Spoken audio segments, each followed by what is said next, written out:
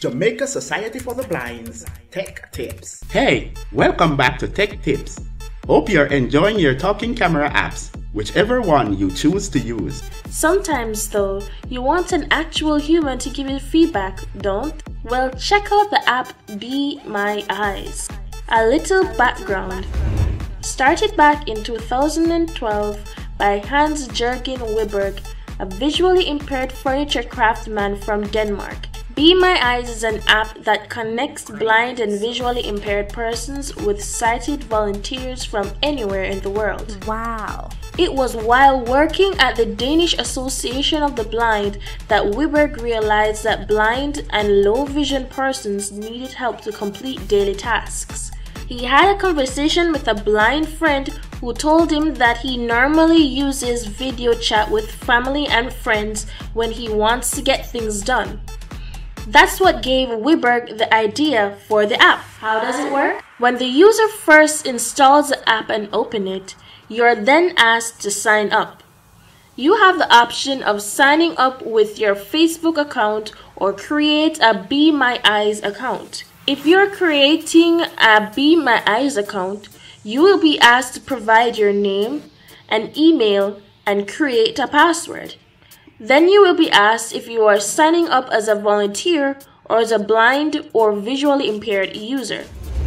Sighted persons can sign up as a volunteer, and we, of course, encourage that as the more volunteers they are, the more blind persons will be assisted. We, though, would select the button that says blind or visually impaired. After selecting your user type, you will be asked to choose your language. Be My Eyes is available in over 150 countries and over 180 languages and is available on both the iOS and Android platforms.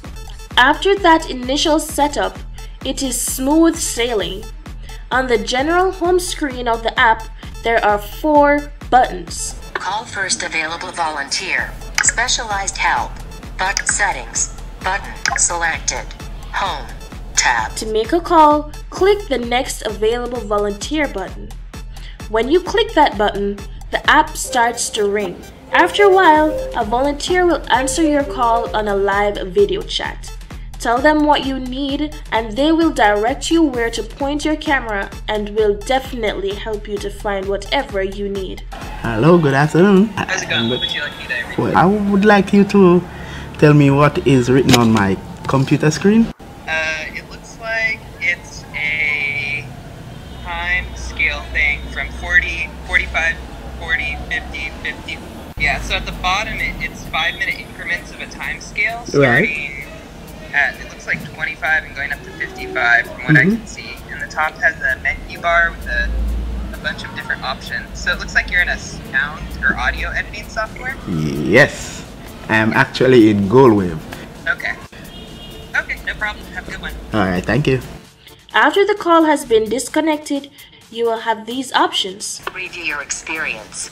Thanks for your call. Please let us know if you have any problems during this call, be it either technical or personal. I experienced problems. Button. I had a good call. Button. Yep, that's it. It's that simple to use.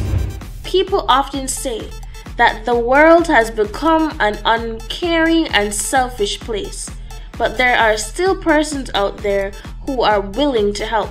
So, download this easy to use app and add it to your arsenal to further enhance your independence. Jamaica Society for the Blind's Tech Tips, empowering the blind and visually impaired through technology. Want more of these weekly tech tips? Then subscribe to this channel. Leave your comments, like, and share. This has been a production of the JSB Library.